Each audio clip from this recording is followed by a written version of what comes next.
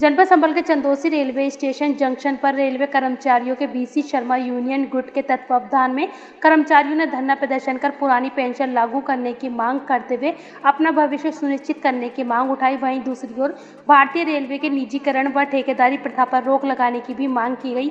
Union के पदाधिकारियों ने चेतावनी देते हुए रेल प्रशासन को आगाह किया कि अगर उनकी मांगे जल्द नहीं मानी गई तो पूरे देश में उग्र धरना प्रदर्शन किया जाएगा, जिसकी जिम्मेवारी रेल प्रशासन की होगी। यूनियन के पदाधिकारी नेताओं ने बताया कि गेटमैन कर्मचारियों का मानसिक और शारीरिक शोषण करते हुए आठ घंटे की बजाय बारह घंटे की ड्यूटी रेल प्रशासन द्वारा ली जा रही है जो कि अपने आप में तानाशाही रवैया है। इस तरह रेल प्रशासन के अधिकारियों द्वारा की जा रही मनमर्जी और तानाशाही प्रवृत्ति पर भी अविलंब रोक लगाने की मांग उठाई गई है।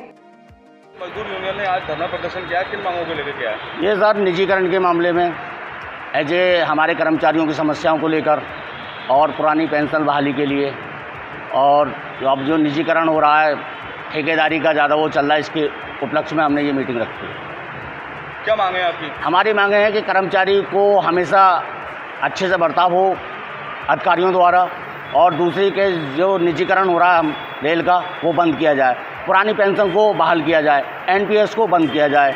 दूसरी मांग हमारी है निजीकरण करने के लिए भारत सरकार जो प्रेरित कर रही है इसको बंद करे। नहीं तो हम ऐसे धरने लगाते रहेंगे और प्रशासन के खिलाफ भारत सरकार के खिलाफ ये हमारे धरने चलते रहेंगे। अगर आपकी बात नहीं मानी जाती है तो अगला कदम आपका क्या? हमारा अगला कदम फिर दोबारा धरना देने का होगा। जी। शाखा अध्यक्ष चंदू सलीम खान। आज आप जो धरने पर बैठे हैं किन मांगों को लेकर बैठे हैं? हमारी मांगे हैं रेल प्रशासन से जो जो न्यू पेंशन चालू करी है उसको हम बंद कराना चाहते हैं और पुरानी पेंशन बहाल करने से हमारे बच्चों का भविष्य सही रहे हमारा बुढ़ापा अच्छा कटे। इसलिए हमने ये धरना लगाया। दूसरी जो हमारे कर्मचारी साथी लोग हैं, हमारे अधिक, अधिकारों द्वारा बहुत मतलब हम पर अत्याचार और हमारे साथ में काम ज़्यादा लेना, पाँच, अब दस आदमियों का काम पाँच आदमी से लेना, उसके विरोध में हमने और जो हमारे गेटमैन साथी हैं, जो बारह घंटे ड्यूटी करते हैं, उनका आठ घंटे ड्यूटी करने का हमने इसका हमें खिलाफ धरना लगाया। आठ घंटे की ड्यूटी की जाए जिससे कि वो अपने आराम से ड्यूटी सुरक्षा से कर सके और रेल प्रशासन का पूरा पूरे हम कई बार बोल चुके हैं रेल प्रशासन के लिए रेल प्रशासन ने बिल्कुल भी हमारी तरफ़ बिल्कुल ध्यान नहीं इस चीज़ का।